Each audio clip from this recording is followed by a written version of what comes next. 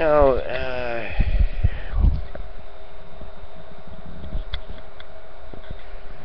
We'll address that. The new, the new girl here, we're gonna address it. Uh, where is it? You know, when you put these on, it's cool.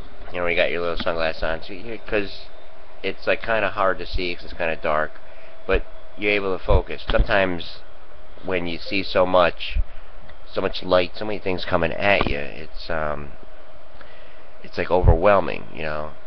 So it's good to stay focused, you know, stay focused on, you know, on the little things, the little things, you know, you narrow it down, you know, narrow it down. Okay, what is she? No, I can't see now. Um, so you're type A. Uh, I'm fine. I don't have. If you're trying to hint that I have some kind of medical, no. No, every time they they check me out, they say everything is fine. Uh, but what I do since 2007, uh, I read a certain book, and uh, it's New World, New World book, New World translations. It's the one that really works for me. Uh, I, you know, I'm content with it either way, you know, because everything in there is an answer for everything that I've have been facing for the last five, six years. I don't know, lost track. Got to get going. Namaste's good. Uh, do you drink those caffeine drinks all day? No, it's just a little tea, and uh, throughout the day, a little bit, a little bit. I, I have to admit that, you know. I think, um, well, the microphone. I think I, it depends. I get the seltzer. I like Canada Dry seltzer.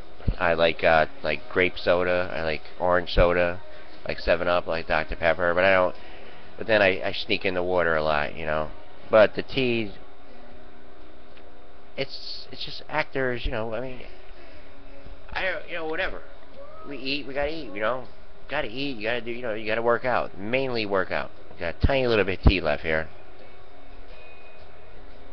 Goodbye, T.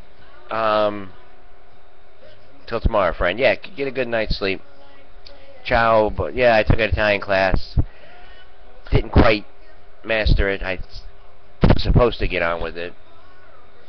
But I just got busy with uh, working on me and trying to present some kind of a show down the road. Just like late night or something, you know.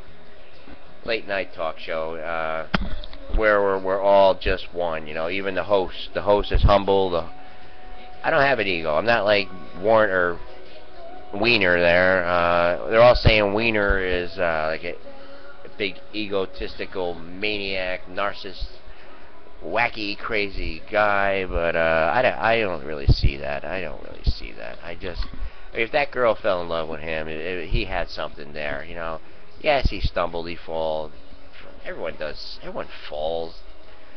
You got to give people a chance, you know. Like when I was in human services, when I first got to Facebook, I said, you know, I'm willing to give people a second, a third, a fourth, a fifth, a sixth, a seventh chance, you know, because you never know. You never know can't be judgmental. I mean, these people just wait for something to happen and they just want to burn them. You know? This guy could, could turn out to be great. I don't know. We don't know that. You know? But we learn.